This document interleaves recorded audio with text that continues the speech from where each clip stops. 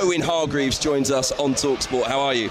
I'm good, guys. Thank you. Thank you for having me. No, thank you so much for taking the time to join us. I think we're going to pick up maybe with just what we were talking about with Rio. You, um, you know, it was a slightly insulting question. I hate to say it, Rory Jennings, but you know, asking a question claiming that Bayern Munich is possibly underwhelming. I think going to the Bundesliga is potentially underwhelming for the England captain. I don't necessarily think that's snide or sneery. Is that too harsh, Owen? Um, you're asking the wrong guy. You know, I did 10 years at Bayern Munich. You, you, know, you won't find a better club in Europe than Bayern Munich. With the utmost respect to all the other teams. I mean, if you go, and I'm guessing that's probably what sealed the deal for Harry. If you go there, you won't leave there. You ask Frank Ribery, you ask Arjen Robben, you ask and the only reason Robert Lewandowski left is because he wanted a different challenge. And that's the only reason I left there. I was there for 10 years, from 16 to 26. That club is elite on every level. Training ground, stadiums, quality of life in the city, which is probably big for Harry and his family. Um, yeah, I, I, you know, the reason I left is because it wasn't competitive enough for me. Really? What, yeah. the league, the Bundesliga generally? Well, no, I, you know, in a way, without being. Uh, we were favourites yeah. and we were lifting the trophy and I, I, didn't enjoy I didn't celebrate winning a trophy as much as I probably felt like I should. Yeah. I think that's that's kind of tapping into what I meant like well, winning ish but still but hold on hold on. If you win the league every year that's different. Harry Kane going there to nothing. win the 12th, 12th in a row. Is slightly underwhelming. No no but the point is Harry's 29 now and Harry probably wants to win some trophies because and he deserves that right. The, the thing is Bayern is not about Bayern is not about winning the Bundesliga and winning the cup. That's expected. That's if you don't do that you got a big big, big problem. Bayern is about winning the Champions League, and that's and, and that's the holy grail. Look look what PSG's invested in in trying to, you know, make that happen, yeah. and nothing's come to fruition. There's no guarantee, but Bayern's goal is to be the best of the best, and I I would, you know, to go there and see that football club, training ground, stadium, fan base, uh, whatever. They, he gives himself a puncher's chance to be in the mix. And I think in that sense, I can understand if he does it, why he would do it. But also, you got you know you got Real Madrid's and you got you know I can understand why he would want to go. There's options, but in the end, this is a personal choice. All the boys make a feeling choice, yeah. and for whatever reason, it must have must have grabbed him. The same way, you know, when you meet people, bosses or whatever, you know, girlfriends, future wives, whatever, it's a gut thing. Yeah. And I'm guessing he's going with his gut. How do you think he's feeling now? You've been there as a player, you know, big moves on the horizon, not quite there. The agent calls. It turns out that Daniel Levy is in negotiations with, with Bayern Munich, but you're hearing that they're apart on price, for example. This is something that's happened to Harry Kane before, of course, when it came to a possible move to Manchester City, and he's had to watch Erling Haaland win a treble and score, what, 36 Premier League goals on the way will he be feeling now a sense of huge frustration if he doesn't end up going to Bayern Munich? What can we expect from him over the next 12 months, even if he goes on a free in a year? No, I don't think so. I mean, in the end, these guys are elite. Why, why would you worry about something you got no control over? You know, in, a way, he could have he could have done what Haaland did, but you know, might have scored the same, might have scored more. Why worry about something you got no control over? It's a, it's a complete waste of energy. Harry Kane is is Harry Kane. He's elite. He's probably the only striker in the world that's an elite number nine and an elite number ten. So I'm sure Harry, you know, you think about it. Sometimes you'll be laying in bed and you'll be thinking, oh, "What could I?" But it's a waste of energy. And what makes the great ones great is they don't waste energy. You know, they live in the moment and they get the job done. In terms of the new Premier League season, it's really starting to heart up now. Manchester City are embarking on uh, on a journey to try and win four in a row. Four in a row has never been done here. Do you see it going that way? I don't see it. I don't see why not. I mean, you know, Pep's the greatest innovative coach I think we've ever seen on, you know, in, almost in any sport. You know, to think the reason they won the Champions League was probably one of the reasons, maybe it was probably their downfall before, was the fact that they were a little bit open. They played this beautiful football. Every time they got knocked out, they were the better team. Yeah you know, whether it was Monaco, whether it was whether it was Tottenham, you know, whether it was Real Madrid, every time they were a better team. But they lost in football at that level is one moment. That's it. Yeah. And I think Pep found a way to minimize those moments last season by playing a back four, getting rid of the fullbacks, playing four centre backs, and thought, right, if I keep a clean sheet, I know we're going to score. And what happened?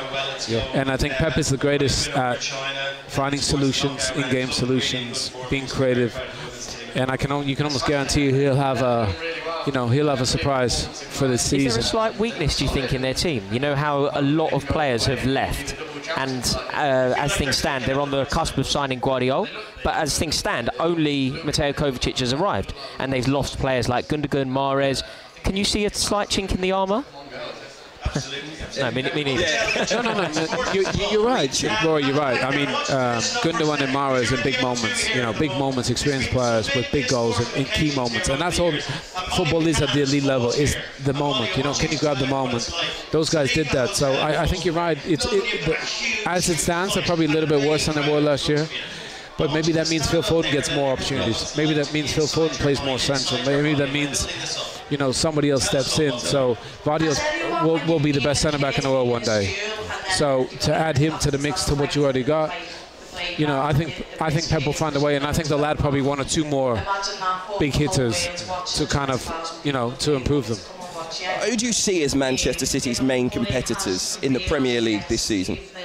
I think the top four is pretty set in a way. Um, I think it's Man United, Arsenal, Liverpool, Man City. Um, God knows what order because there's so many good teams. I think outside of that, you know, I think Chelsea, I, I think will be a difficult season for them. I think they're relatively young. Newcastle fans might be feeling that's a tad harsh on them. No, no, I love Newcastle. You know, I think they, what they've been able to do, and that fan base deserves to be where they are. But I think playing in Champions League and managing all that, and you know, they'll probably need a few more numbers and a bigger squad. Um, uh, but I think Eddie Howe, they're way ahead of the curve. They're way ahead of where they should be. I think Brighton and Aston Villa are going to be a problem for a few teams. I just think that the attention to detail from those two coaches. Um, I, was just with them in the you know the Premier League Summer Series and you know, across America. Those coaches are unbelievable. Honestly, the, the, the, the way they make their teams play and they've improved. So I think Villa and Brighton will be a problem, but uh, Tottenham, I'm, I'm, curious about Tottenham. You know what they do with with Ange, and, and, and he plays this beautiful football, which is super open, but um, it used to be a top four, didn't it? And now it's it's probably a top six, maybe maybe a, maybe a couple more in there. Yeah. What about the Champions League? Obviously, the Champions League final this year is at Wembley. Bayern Munich actually won it at Wembley the last time it was there. Manchester City will be hoping to retain it. There's loads going on, isn't there, with the Champions League? How do you see that one going? Yeah, I mean they're the favourites. I mean they've been everybody's favourite for what you, you know for probably five years since Pep's been there but we've seen the margins are fine. I think obviously City are the best best team in there, and then Real depending on what happens with Mbappe, Bayern, you know, if they get Harry, you know, with Thomas Tuchel and Neuer and, you know, everything Bayern has, that'll be a problem. Mm. They're probably your three big favourites, but do Arsenal, I think we maybe write them off slightly. Maybe because of the Premier League, the season they had was brilliant, but they didn't lift a trophy. They're going into the Champions League this season, and they will feel like they're playing fantastic football. They will take some stopping in that competition too. Who knows? The draw might go their way. Uh, the Champions League, by the way, live and exclusive on TNT Sports this season. But the one Arsenal player I wanted to highlight, because I think in this transfer window they will feel that they've strengthened with more to come, is of course Declan Rice, whose area of the pitch you know inside out. What will he add to this Arsenal team, and how much better could he make them? Yeah, I, I mean, I love Declan. You know, I, I even like the fact that he picked picked a team that wasn't champion yet. You know, that tells you all you need to know about him. You know, he wants to turn the team into a champion, and there's a big difference. You know, to go somewhere where it's already established. Um, and I just think, you know, you know, it's interesting. A lot of people criticized him this season, saying, you know, he didn't have enough goals and whatever. But I think Declan and the team that he played in, he did an amazing job. You know, because they played a little bit deeper, they didn't have as much possession. It was hard for him to get in the box. I think Declan can be whatever you need him to be. Um, and I think he's an amazing addition. Obviously, I think for Arsenal, experience showed last season in big moments. You know, they were a little bit too young. I think they're the youngest team in the league. Um, and I and, and, I believe this year they've improved dramatically. Even Kai Havertz, I love I love Kai. You know, I think he's I think he's got so much talent, and he, he, can he play in the central midfield area? I mean, I don't, we don't know where he's really going to play, but if he is, has been bought to kind of be a classier, more attacking version of the role that Granit Xhaka had played, do you think he can do it? Because the main question mark for me is not that the, the, the boy has talent; he's got remarkable talent. It's that, particularly in that area of the pitch, the aggression and the arrogance, if you like, the ability to stick his chest out. He doesn't quite yet seem to have that in English football. Yeah, but I think his body language is a bit like Mesut Ozil. You know, he's quite a I think he's misunderstood. Um, and I think he's not. Oh, yeah, he can play there, especially in an Arsenal team that has 70% possession. He doesn't have to be nasty. All he has to do is get on the half turn and you know get his head up. So, but I think he gives them a huge opportunity to, to rest Saka, to rest Odegaard, to rest Gabriel Jesus. He can play in all three of those positions. Plus, he can play deeper. I think the deeper one's the hardest one for him. Um, but I think his talent is is, is, is undeniable. He's, what is he? Six two. He's good in the air. He can do so much, and I think with the with the issues that Chelsea had, everybody, everybody, you know, the ship sank and everybody went under with it. Whether that's Kai or Thomas Tuchel or Graham Potter or, or uh, Mason Mount. So I don't think you can judge anyone in, in, those circumstances. And I think Kai is in for a big year. Well, his role for the first few weeks of the season may be quite clearly defined because news tonight on Talksport that Arsenal's Gabriel Jesus has had a procedure on his knee and he will be out for the first few weeks, we're told, of the Premier League season. So maybe we'll see that false nine role that Kai Havertz played at Chelsea um, reignited at Arsenal. Yeah, well, to be fair, Chelsea started Leverkusen where he did it so well. He uh, Kai initially started kind of off the right, coming inside.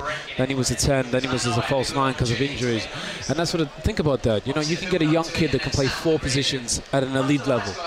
You know, and, and I do think being versatile is, is you know there's a disadvantage to that. But uh, one thing I would say is that Chelsea, through all that chaos that was going on there, who, he was picked every week ahead of everybody else.